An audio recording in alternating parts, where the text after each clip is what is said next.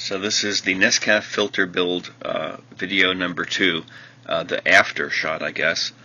Uh, I've built the Nescaf audio filter, uh, popped it into this nice little box, and here is the functional test.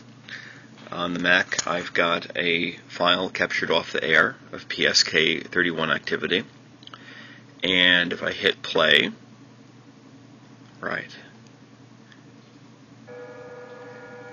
should be able to hear coming out of the speaker some PSK31. And over here on the PC, I've got MixW running, and you can see the waterfall plot.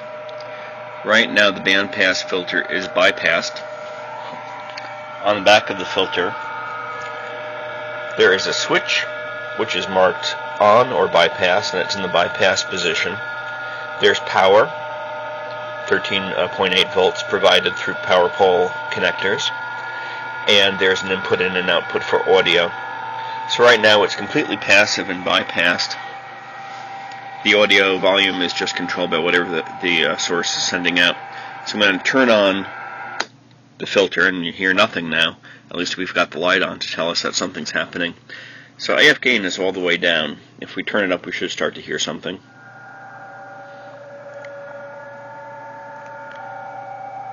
So with the uh, LM386, uh, the signal can be boosted beyond uh, the original gain level, but generally you probably want to adjust it to be about equivalent to what uh, you have in the bypass position.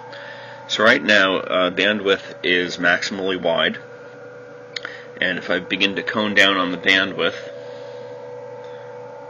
turning that knob to the right, uh, you can see the roll off towards lower frequency. The frequency uh, midpoint setting is the knob on the right side of the panel, and it's all the way to the left. And the uh, the way it's adjusted, the lowest position is around 500 uh, hertz, and the highest position is around 1500 hertz. Uh, on the thought that most of the time you'll want to tune a signal in that range, at least for CW. So there's now picked out one fairly strong uh, signal coming through. And if I click on it in MixW, even without clicking on it, it seems actually to have decoded it pretty well. Uh, you get clear printing text. Okay, that guy stopped, of course, as we did this. So if I take the uh, frequency knob and I begin to turn it to the right, even the background noise begins to go up in frequency.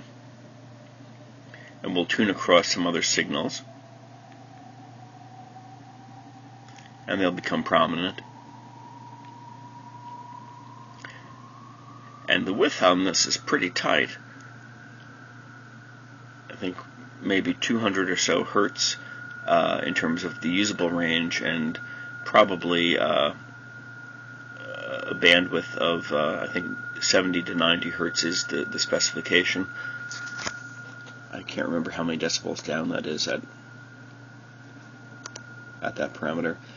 So here's another signal being decoded. So it really cones in nicely uh, and eliminates uh, part of the spectrum.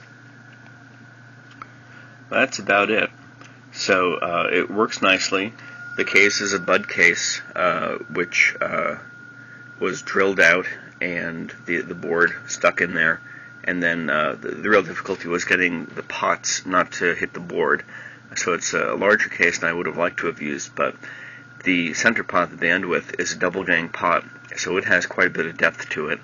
Uh, ideally, a longer, uh, maybe uh, shorter box would have been used. This is what I had on hand. And just a note about the lettering, th- these are slide-off uh, decals that I printed on a laser printer, and then uh, you wet them and put them uh, on and slide them into position and let them dry. And that worked out really well, so I'm quite happy with the labeling. So there's version 1 uh, of my build of the Nescaf filter. That is all. AI4SV signing off.